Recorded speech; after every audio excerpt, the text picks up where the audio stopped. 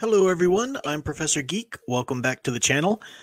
I wanted to discuss this topic on its own video. These are some topics that I've delved into a bit on my office hours live stream, and you'll hear me, if you're a regular viewer, you'll hear me re- reiterate some of those things I've said, but I, it's rare that I'm able to think through the whole topic and get the whole thing out in one kind of given discussion with with guests who uh, I've invited my guests on to to give their thoughts and they're going to, to speak and I want them to. So I wanted to do this as a video. Also, I, I sense I can't be sure, but I sense that perhaps my my wonderful um, office hours co-host, so I'm immensely grateful that they're with me each week. I'm sensing they kind of want to maybe take me to task on this a little bit or some aspects of it or, or at least open it up for discussion. And this isn't really a topic that I want to open up for discussion on my channel because it is very fundamental to my channel's existence.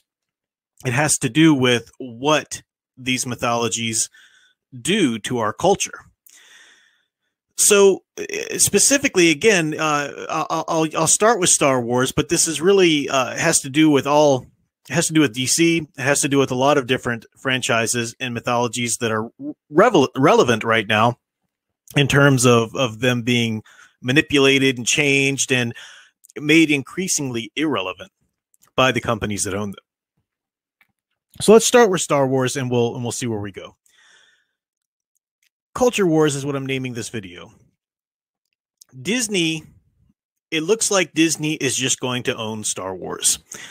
What I mean by that, I don't mean literally is in terms of the rights, because obviously Disney owned the rights to Star Wars as soon as they bought it from Lucasfilm. I mean Disney it appears that Disney's just going to culturally own Star Wars. They're going to be able to define what Star Wars is for culture. And that wasn't always a set done deal because people were standing up against the nonsense they were pulling. People were standing up for the heroes in Star Wars that they loved. They were standing up for what that mythology had done for them, had had done for our culture. The the heroism and the the actions and behaviors that their, characters and their arcs inspired us to. It was it was an important thing to people, and people were standing up against it.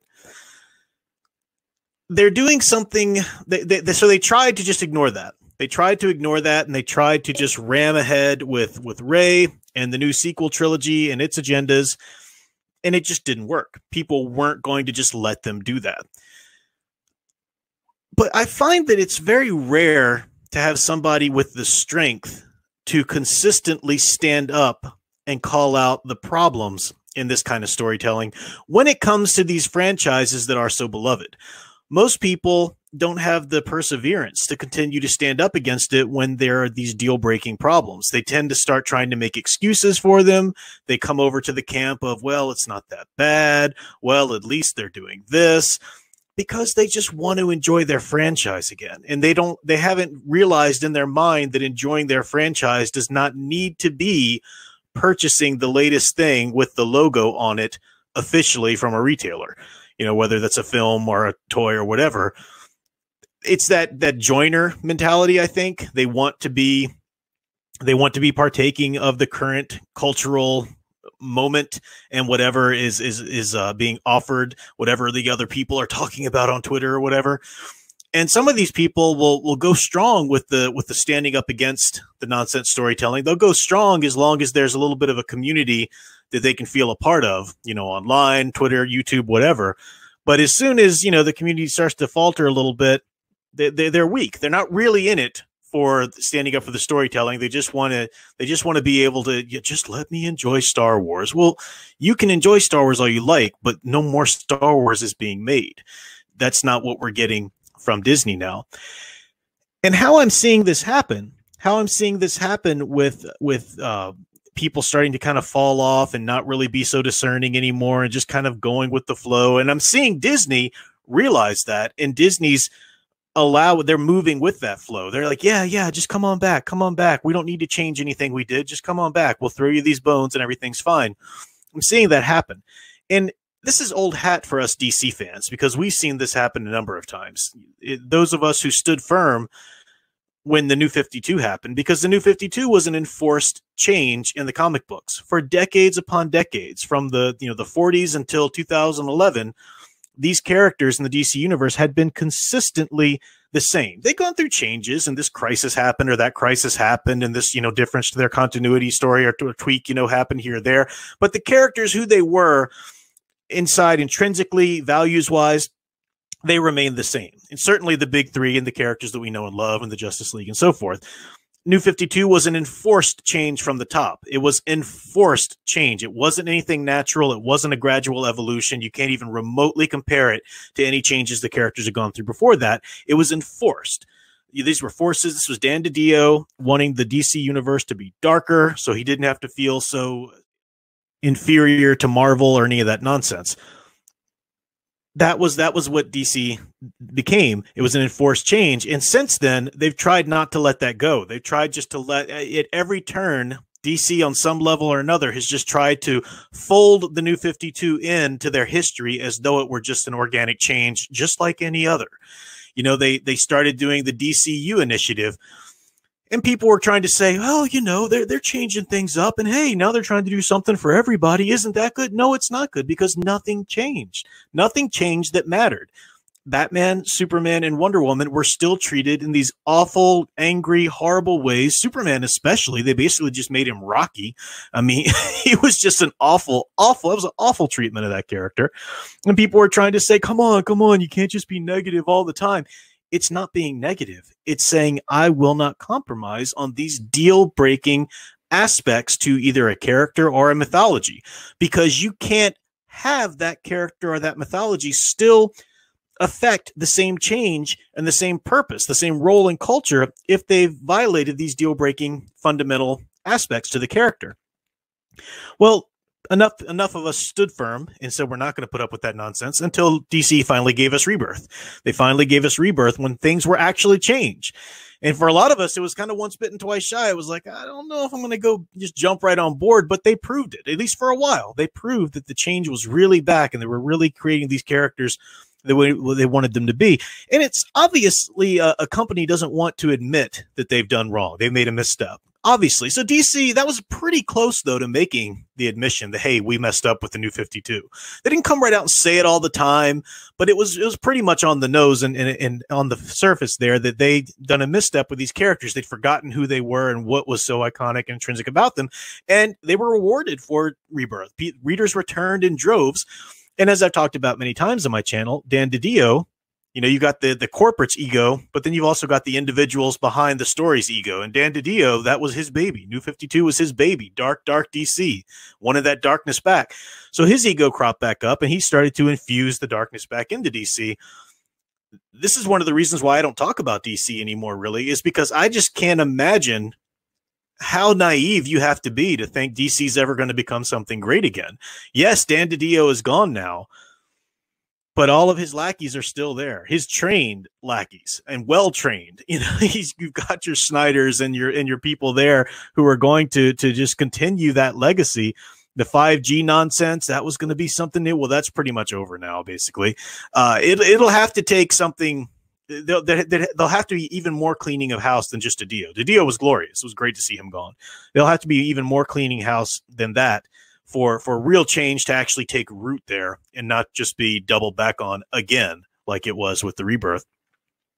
So people people don't like to stand firm. They like to just sort of go along with it. Well, that's not so bad. Well, this isn't that. You know, maybe after Tom King's Batman, the next writer, you know, will will be good and we'll get, you know, so and so. I mean, people were telling me this when Tom King was doing his uh famously, you know, infamous ridiculous run on Batman. And and I told them it doesn't matter because whatever writer they get, you know, they can bring in Paul Dini himself to write Batman continuity after Tom King, and he's still going to have to be writing the Batman that went through all of these character altering changes, unacceptable things that Tom King put the character through. It doesn't work. You've got to change. You've got to scrape out scrape out the gunk and start building it anew with a firm foundation. Now, Star Wars. Disney realized their error after Last Jedi, after Solo bombed and lost money. And they decided they were not going to retcon anything. They were too in too deep, whatever. They were just going to bring back Abrams. And The Rise of Skywalker is the most pitiful attempt at damage control. That's really all it is. It's just a pitiful attempt at damage control. And that right there is enough for the weakest of the fans. The weakest of the fans, you know, will will will roll over right at that point and say, "See, see, they tried to fix it. They tried to fix it. It's okay now. They tried to fix it." Nothing's okay. All they did was try to roll everything they did into a firm continuity. This is it. It sticks now. Then Mandalorian came out when Mandalorian came out, I didn't even watch it at first. Everybody was t- screaming about how wonderful and amazing it was, and and it was Jon Favreau and Dave Filoni and not Kathleen Kennedy and all of this and that. And I came out and said before I even watched it, I said it sounds like it's a great show. That's great. You know, you want to enjoy the show, enjoy it, but stop making such a fuss over it and pretending like Star Wars is saved. All this is is a is a little series on their streaming service this this can't save Star Wars because it's not set up to retcon anything. In fact, the best you can hope for is that it doesn't mention any of the things that have happened in continuity because technically it's still set in the sequel trilogy continuity. And people didn't want to hear it. How dare you? You know, the everybody else on YouTube is celebrating this show, and we just want to join the party and be a bunch of joiners. So how dare you say anything against this or whatever? Well, then we got Clone Wars season seven. Clone Wars season seven is atrociously written as a season. It's just awful. And uh, there's still holdouts. There's still people trying to defend it. I think it, it reminds me of the people who still tried to defend The Force Awakens for a long time.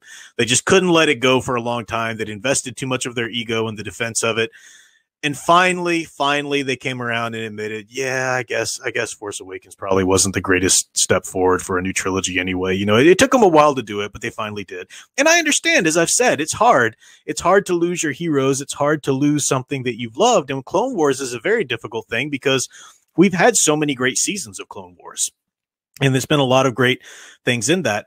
But season seven dropped the ball right after the Bad Batch arc. The Bad Batch arc was great, but it dropped the ball right after that by focusing on Ahsoka. Now, I've called Ahsoka Mary Sue here many times, and I'll and I'll explain what I mean by that, and I stand by that absolutely. Uh, Mary Sue is a character who you give undeserved victories, undeserved accolades to. You make other characters, uh, you know, overly concerned with, with that character because she's just your favorite. Um, either she's your favorite or it's politically motivated or whatever. And in Dave Filoni's case, it's it's she's definitely his favorite. That's not even up for debate. I mean, he's talked about that many times. We know that he's argued with George Lucas. George Lucas wanted the character to to die and not go past Order 66, but Dave Filoni fought for. Well, Dave Filoni's favoritism of that character is now moving in lockstep with Disney's agenda where all the women need to be great. You know, the force is female. They need to be the future of Star Wars. That was Kathleen Kennedy's only direction to J.J. Abrams for the whole Star Wars trilogy. Make the lead character a woman. That's all she cared about. Nothing about story or, or honor these characters or bring these arcs back or even remotely wink at the wonderful expanded universe that so many great creators uh, have spent their time in and readers have just loved for so long. Don't even worry about that. So now you got Dave Filoni's favoritism of Ahsoka moving in tandem, lockstep with Disney's agenda now. And we got the end of season seven. And people have tried their best. Oh, they've tried so hard to defend this as though it works. And every defense I've heard, I've talked about this on uh, Son of Gravers channel, for example, they stick at the outline level and they they make these connections about what the what season seven was trying to do, and they see that connection. They think, oh, that's really cool, and they think they've stumbled on some profound defense for the season. But no, the idea of season seven was a good one. The idea of having Ahsoka and Maul have some encounter there was a great one. They are both both cast aside by their mentors. At least Ahsoka will be after the uh, you know his full conversion to Vader and such. And so it was a, there were two characters that were interesting to bring together. That's fine. The siege at Mandalore was one little area of the Star Wars universe that we hadn't seen, you know, in terms of what's go what's going down when Order 66 happens in our main characters. So that's fine, you know, even show us some of that. You've got all these reasons for it. But nothing that happened in the end of season 7 was earned by the writing at the level of the scene. You can have the greatest outline in the world and the greatest idea, and and maybe you've even got a, a, really cool idea for why Ahsoka should should capture Darth Maul or something like that. That's all outline level. That's planning level, and these are can be good ideas, but they all hinge on can you make it work in the writing, which is the actual scene, the actual character development, the actual pacing, the thematic development, making us believe that this character could do X, Y, and Z, or this character couldn't do X, Y, and Z. We don't get any development with Ahsoka. And this is Dave Filoni's tragic flaw in writing. He's unable to show progression. He just snaps his fingers and changes a character automatically. And even when he changes a character automatically, he can't even stick with that change. And I know he didn't write every episode of Clone Wars, but he's an overseer there. You know, he did write many of it. He created the character of Ahsoka and he's overseeing the writing as, as it progressed. He didn't show us Ahsoka develop and grow up they just snapped his fingers in the middle of whatever season it was, and suddenly she's older. Suddenly she's, you know, uh, looks older physically and, and acting a little bit more mature yet even then i've talked about on the office hour stream she can't she can't hold on to it. She still has that nonsense with the uh the citadel i think mission where she just decides to go anyway because she wants to go and, and master plo says oh yeah i guess i did tell her to go or whatever. The, the show rewards her for her disobedience rewards her. She doesn't have any learning moments that the show doesn't just kind of try to rush her over really quickly just to, to keep patting her on the back no matter what. Well, we didn't see her after she left the Jedi. And that was a powerful arc when she leaves the Jedi. You can tell some things are going on there. That was that was done really well. That was done well. But we didn't see it. We don't know what she's been doing. All all Clone Wars, all Filoni decided it was necessary to give us about what Ahsoka had been up to since leaving the Jedi Order, and that was a long time ago. Is those four little episodes of Roth and Tra- Roth, Trace and uh, Rafa, which are awful, awful episodes.